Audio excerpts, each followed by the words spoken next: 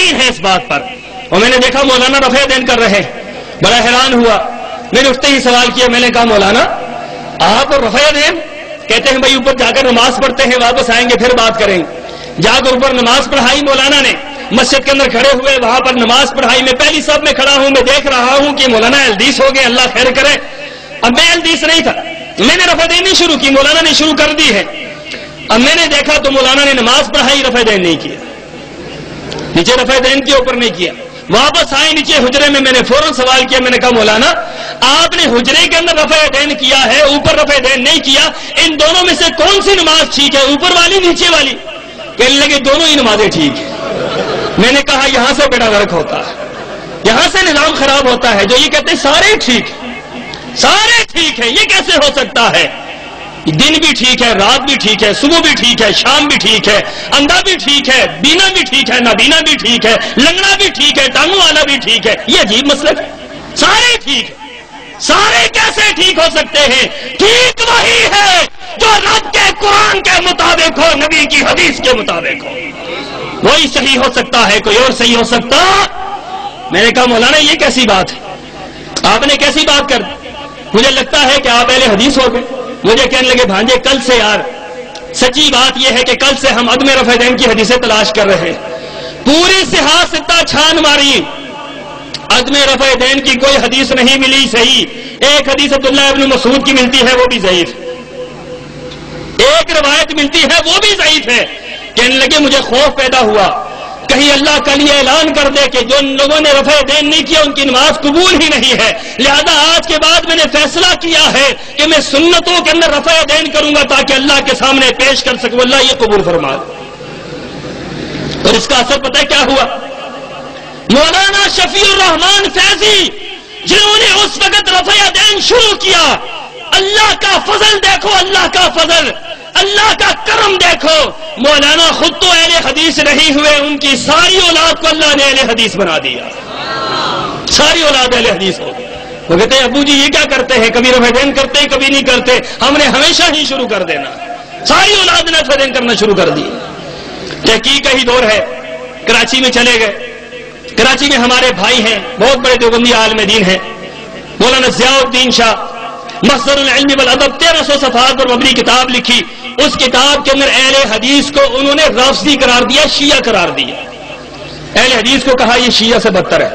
اس کتاب کے اندر مولانا نے لکھا، اس قدر متاثر عالم دین ہے مولانا کے پاس میں چلا گیا۔ ایک بندہ آیا، سوال پوچھتا ہے، طلاق سلاسہ کا بھی مولانا سیف اللہ صاحب بھی بیان فرما رہے تھے۔ یہاں پر بڑی دنیا پھنستی ہے طلاق کے مسئلے میں۔ اہل حدیث کا مسلک یہ ہے، جو شخص ایک محفل کے اندر تین طلاقیں دیتا ہے وہ ایک ہی ہوتی ہے۔ کتنی ہوتی ہے؟ ایک ہی ہوتی ہے۔ کیا دلیل ہے اس کی؟ جہاں صحابی فرما رہے ہیں، مسلم شریف کے اندر روایت موجود ہے۔ عبداللہ ابن عباس فرماتے ہیں، کان طلاق والا رسول اللہ رسول اللہ کے زمانے میں، حضرت بکر صدیق کے زمانے میں، عمر فاروق کے زمانہ میں دو سال تک جو شخص تین طلاقیں دیتا تھا، وہ ایک شمار ہوتی حضرت عبداللہ ابن عباس کہہ رہے ہیں اور اتفاق ہے اس بات پر۔ اہل حدیث کا یہی مسلک ہے کہ آپ ایک وقت میں ایک طلاق دیں، آپ ایک وقت میں دوسری طلاق دے سکتے۔ آپ ایک وقت میں ایک دیں۔ اگر آپ دوسری، تیسری، چوتھی دیتے ہیں، آپ کی ایک تو قبول ہوگی، باقی دو قبول نہیں ہوگی۔ اس طریقے سے مثال سمجھے، جس طرح نماز کا وقت بھی متعین ہے، اس کی تعداد بھی متعین ہے۔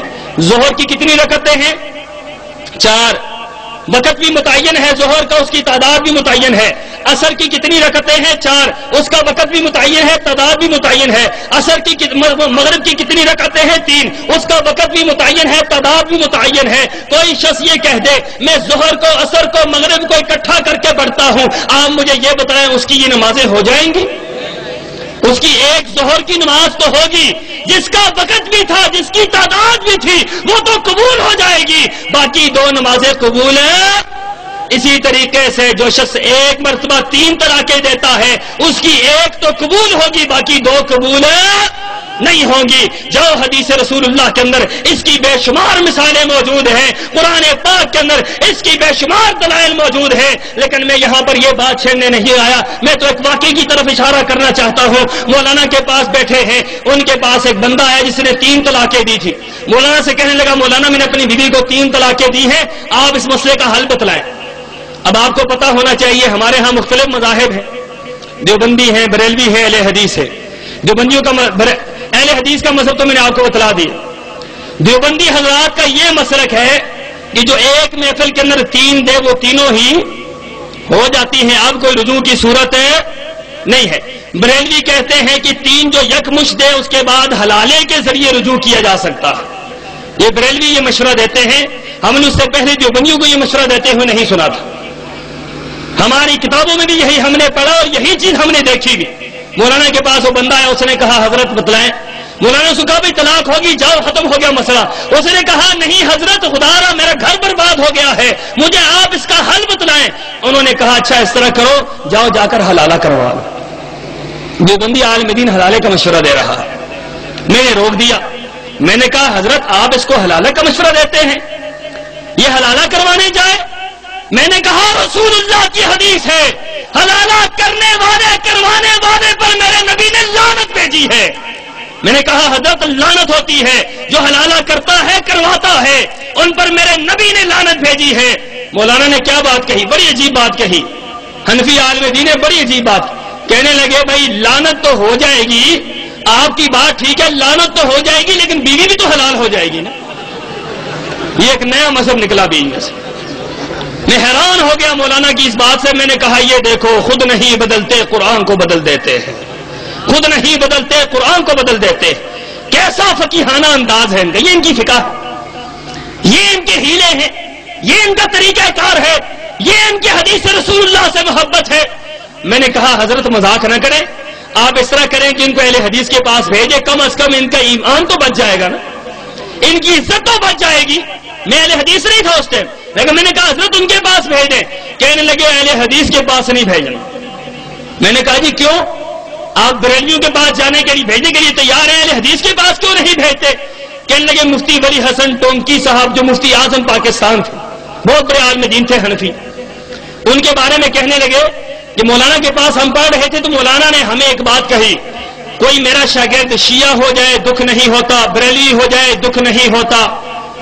کوئی مرزائی ہو جائے، دکھ نہیں ہوتا، اہل حدیث ہو جائے، بڑا مجھے افسوس ہوتا۔ ہم نے پوچھا، حضرت وہ کیوں؟ وہ کیسے؟ کہنے لگے، کوئی بریلوی ہو جائے، تو وہ کیا کرے گا؟ زیادہ سے زیادہ حلوہ کھانا شروع کر دو ان کا مذہبی کھانا کھلانا ہے، کھاؤ، پیو، مر جاؤ، بات ختم ہو گئی۔ کوئی جی گیا پھر بھی کھانا، کوئی مر گیا پھر بھی کھانا، اور تو ہے ہی کچھ نہیں اس مذہب کے اندر۔ اس مذہب کی بنیاد، اس مذہب کی ابتدا انتہا کھانے پر ہے۔ کچھ بھی نہیں ہے۔ کھانا اس مذہب سے نکال دو، پیچھے کچھ بھی نہیں بھائی۔ مولانا کہنے لگے کہ یہ بات وہ کھانے کے پیچھے لگ جاتے۔ اگر میرا کوئی شاگرد شیعہ بن جائے، تو مجھے افسوس اس لیے نہیں ہوتا کہ وہ شیعہ پیٹنے بٹانے میں لگ جاتا۔ پیٹنے بٹانے سے فرصت نہیں ملتی۔ کوئی مرزائی ہو جائے، وہ مرزا کا کے ساتھ لگ جاتا ہے، ہمیں کوئی پرواہ نہیں ہوتی۔ لیکن کوئی اہل حدیث بن جائے، وہ ہم دیوبندیوں کے پیچھے لگ جاتا ہے، اس لیے بڑا افسوس ہوتا ہے۔ اسے ہمیں ہم سے فرصت نہیں ملتی۔ ہر وقت وہ ہمارے پیچھے لگا رہتا ہے۔ میں نے کہا، حضرت خدا اس طرح نہ کریں۔ آپ اس کو اہل حدیث عالم دین کے پاس بھیجیں۔ رب کعبہ کی قسم ہے، مسجد کے اندر ایک کمرہ مختص کیا گیا اور تبلیغی جماعت کے ایک شریف آدمی کو لایا گیا۔ تبلیغی جماعت کے ایک شریف آدمی کو۔ اور تعارف یہ کروایا گیا، یہ تبلیغی جماعت کا بندہ ہے، بہت شریف آدمی ہے، چلا بھی لگا ہے، دسواں بھی لگا ہے، اس نے سال بھی لگایا ہے، یہ تمہاری بیوی کا حلالہ نکلوائے گا۔ اب اندازہ لگاؤ، تبلیغ جماعت والوں سے کیا کام کروا رہے ہیں؟ یہ بیچارے شریف سادے لوگ، بستر اٹھانے والے، ان سے یہ کام کرواتے ہیں۔ اب اس کو جو ہے مسجد کے اندر کمرہ مختص کیا گیا، مسجد کے اندر حلالہ نکلوایا گیا۔ اس مسئلے نے مجھے ہلا کر رکھ دیا، ہلا کر رکھ دیا کہ دیکھو یہ کیسے لوگ ہیں، جن کا نظریہ اور ہے، عقیدہ اور ہے، مسئلہ اور ہے، بیان اور ہے، کردار اور ہے، ظاہر اور ہے، باطن اور ہے۔ اپنے مسئلے کے لیے یہ حلال کو حرام کہتے ہیں۔